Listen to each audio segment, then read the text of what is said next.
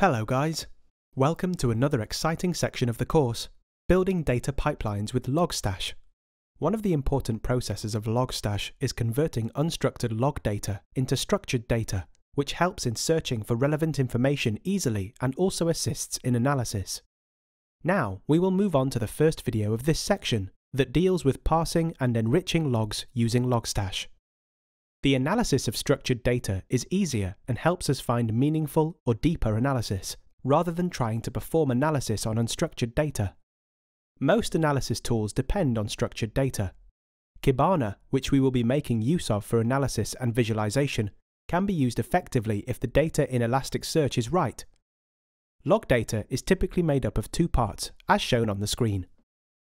Here, timestamp is the time when the event occurred, and data is the information about the event. Data may contain just a single piece of information, or it may contain many pieces of information. Let us look at the need for Logstash. We would need to have a mechanism for extracting this information from the data and thus converting the unstructured data or event into a structured data or event. This is where the filter section of the Logstash pipeline comes in handy. The filter section is made up of one or more filter plugins that assist in parsing and enriching the log data. Let's look at the functions of filter plugins. A filter plugin is used to perform transformations on the data. It allows us to combine one or more plugins, and the order of the plugins defines the order in which the data is transformed. A sample filter section in Logstash pipeline would look like this. The generated event from the input plugin goes through each of the plugins defined in the filter section, during which it transforms the event based on the plugins defined. Finally, it is sent to the output plugin to send the event to the appropriate destination. Let's explore some common filter plugins used for transformation. We will start with the first plugin, that is CSV filter. This filter is useful for parsing .csv files.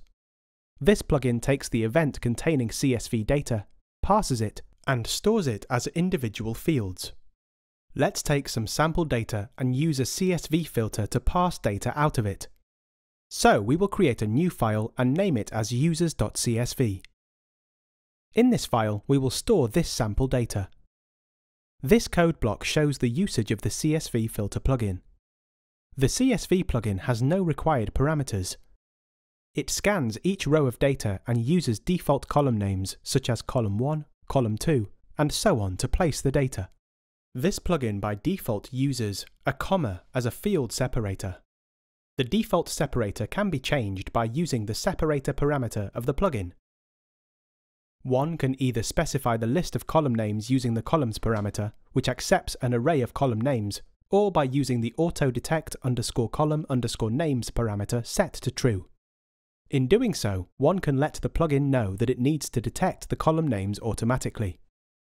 So, we will create another file and name it as csvfile.conf. Here, we will add this code snippet implementing the configuration. As you can see here, we are using autodetect underscore column underscore names parameter and set it to true. Lastly, we will save both the files. After that, using command prompt, we will navigate to the directory where we have stored the csvfile.conf file and this logstash command to display the data within the file.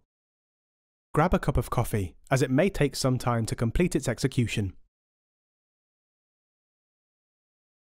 This is result of the data saved in the users.csv file that we created previously. If you remember, we had used auto-detect column name parameter in the csv underscore file conf. In the generated output, you can see that the column names are detected automatically. Lastly, we will terminate the job. Next is Mutate filter. This filter allows one to perform general mutations on fields. One can rename, convert, strip, and modify fields in the events. Let's enhance the csvfile.conf file that we created previously with the mutate filter and understand its usage. In the csv underscore file.conf, we will replace the existing code with this big block of code to show the use of the mutate filter. This part of the code is the main change, as here we are defining the mutate function. Here, the convert setting within the filter helps to change the data type of a field. The valid conversion targets are integer, string, float, and boolean. The rename setting within the filter helps to rename one or more fields. The preceding example renames the fname field to first name and lname to last name.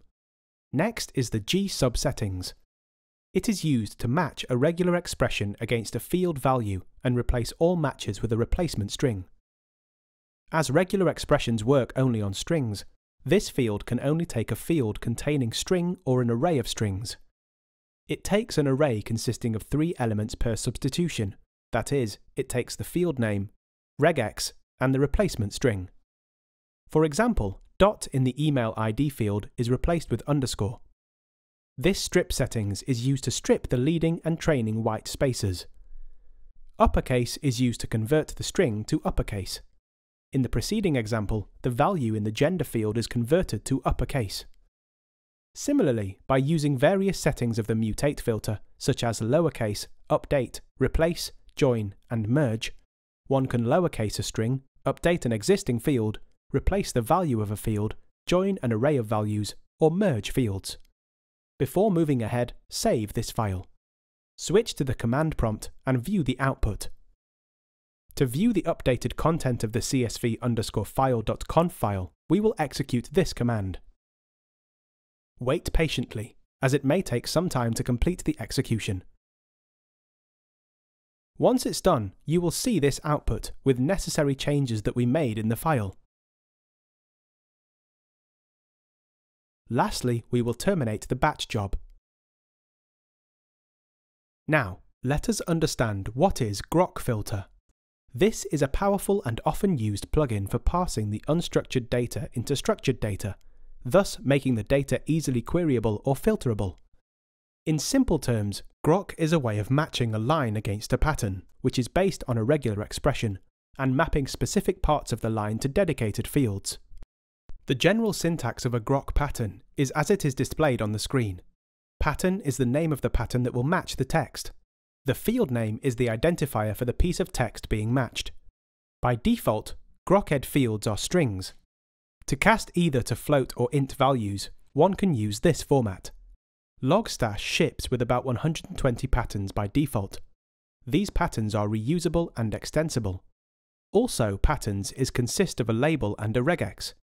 An example is shown on the screen. It can also contain other patterns. If a pattern is not available, then one can use a regular expression using this format. For example, the regex would match telephone numbers, such as 123, 123, 1234, and place the parsed value into the phone field. Let's look at some examples to understand Grok better. Similar to the previous examples, we will create a new file and name it as grok1.conf.